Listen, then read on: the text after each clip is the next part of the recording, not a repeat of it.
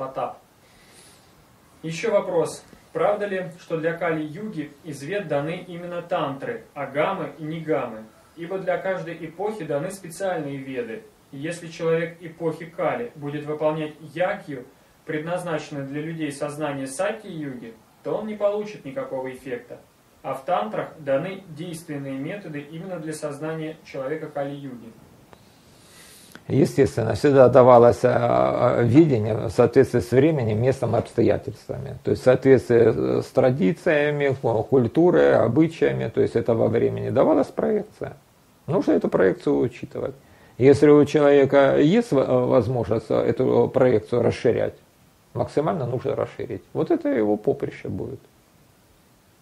А что по поводу тантра, гам, нигам? Нужно смотреть, смотря какая школа. Тантра, тантре рознь.